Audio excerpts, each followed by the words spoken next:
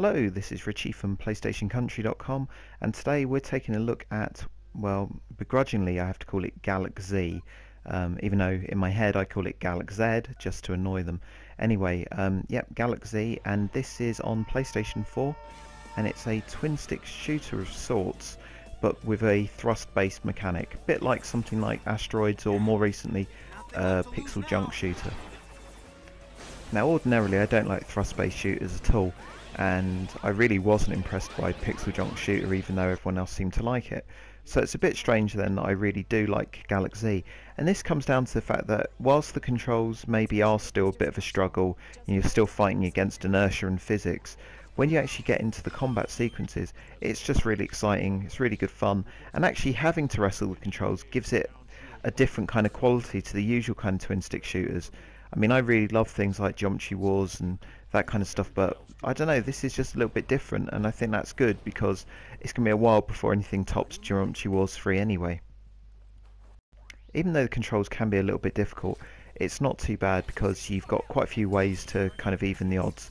Um, this comes from like picking up salvage when you destroy enemies. Like as you can see there on the right, there's some floaty bits. You pick those up, and you can sell the salvage to get better weapons and upgrades. This includes different types of bullets, such as uh, different spread patterns, bullets that bounce off of walls, that kind of thing, and then extra shields, stuff like that. So you can either buy these upgrades from this chap in between missions, or you can actually find them for free if you go exploring through the uh, levels that you play.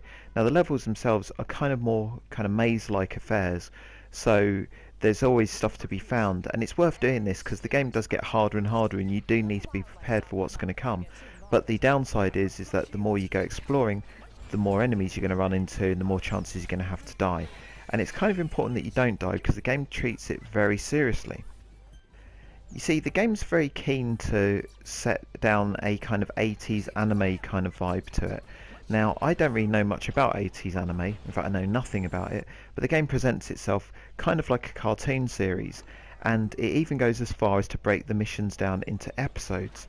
So there's five episodes, and each episode has five missions within it. If you die anywhere within an episode, you have to restart that episode, okay? So basically, if you die anywhere within five levels, you're going right back to the beginning. Now whilst this might seem a bit harsh if you die on like the fourth or the fifth stage of an episode, it does make everything just a bit more tense and it means you've got to take your time, it means you've got to be a bit kind of more strategic about your battles, you can't just go rushing in. If you die, that's going to set you back maybe a good half an hour of gameplay and it's not something that you want to do. This approach is actually kind of typical of Galak-Z and just the fact that it's got so many good ideas even down to the fact that when you get onto episode 2 your ship can now transform whenever you want into a mech.